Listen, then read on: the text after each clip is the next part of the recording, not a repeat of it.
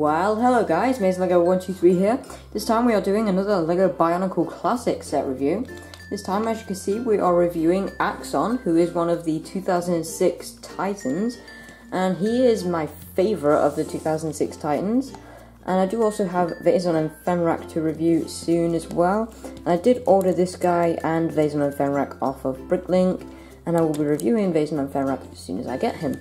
But anyway, on with Axonn. I don't have the box or instructions for this guy, so let's just get straight on to him.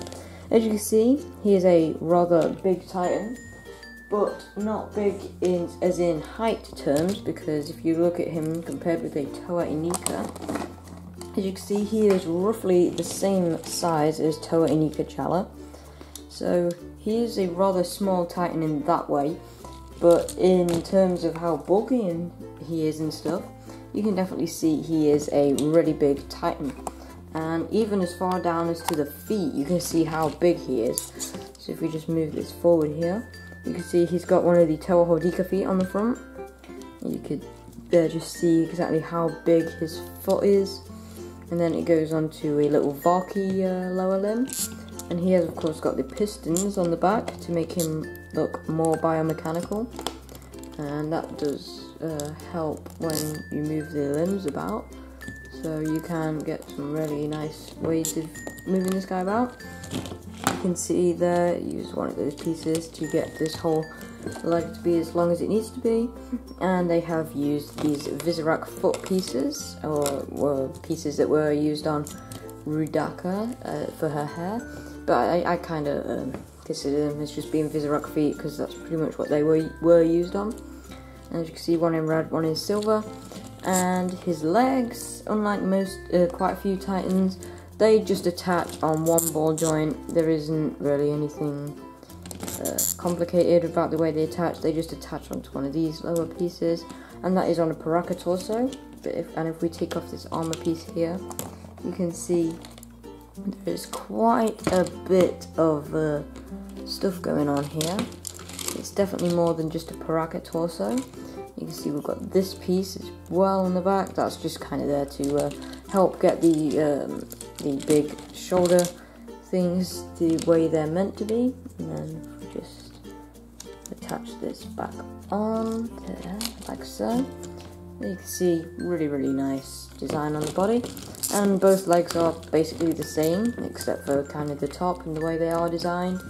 And as you can see, he's got the really nice, this really nice mask here, which is a pretty big mask, and it does attach onto the Toa Metru head there, so you've seen that before.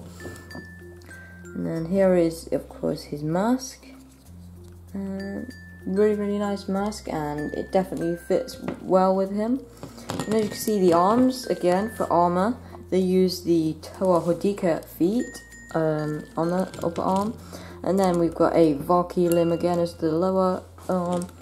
And then we've got this uh, really nice built up hand. You can get it in some pretty cool poses. So we can kind of have a thumbs up there. I guess you could say that's a thumbs up. But yeah, and he has got the biggest hands of any Bionicle figure, I'm pretty sure. And I'm pretty sure this was the first guy to actually have hands that had uh, fingers that could move and stuff. And obviously the second one was Toa Mata Nui.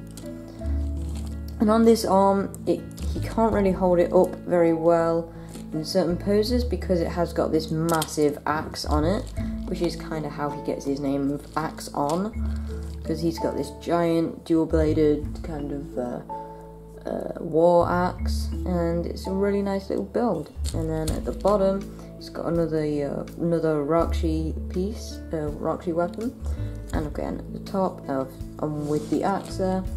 But obviously now there is an easy way to fix the uh, problem of him not being able to hold it up in certain poses, and that is just get some friction added joints from the new uh, sets and add them onto his arm. And obviously he can grab stuff with his really really big hands.